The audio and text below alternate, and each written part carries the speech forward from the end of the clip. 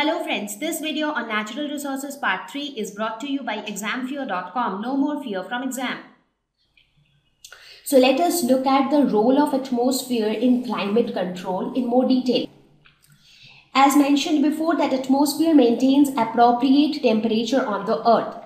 It is just like a blanket which protects you from cold during the winter season.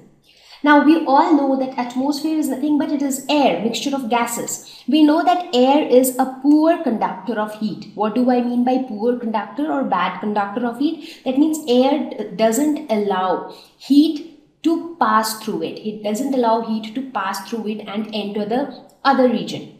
Right? So that, that way we can say that air is a poor conductor of heat.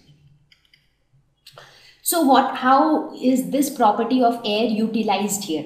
Now during the daytime, what happens? So during the daytime, we have the sun, we have the heat and light of the sun reaching to the earth.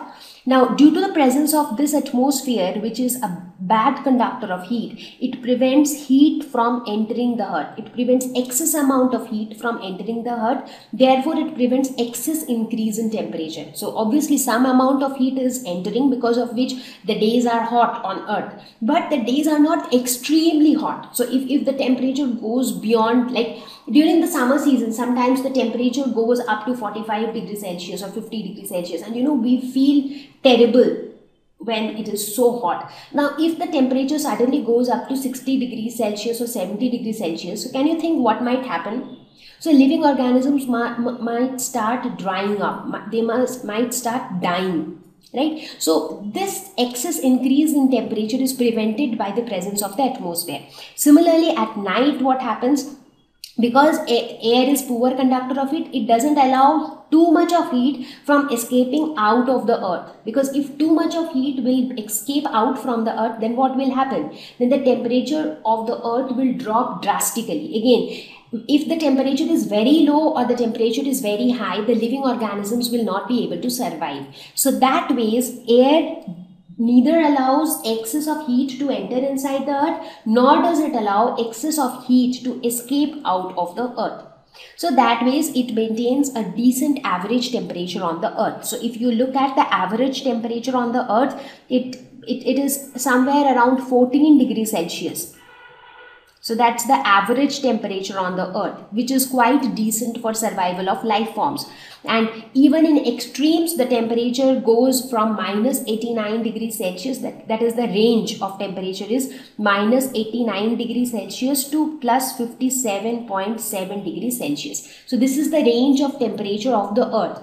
Now, on the contrary, if we try to compare the temperature of the earth with that of the moon, so in case of moon, we see that how the temperature ranges. The temperature range is very huge. It's like minus 190 degrees celsius to 110 degrees celsius. So you see when it and certain regions of the moon might have temperatures as low as minus 190 degrees celsius whereas some other regions might be as hot as 110 degrees celsius. So these are like two uh, extremes. So in, under such extreme conditions it is not possible for life forms to exist so that means atmosphere definitely helps to maintain an appropriate temperature on the earth.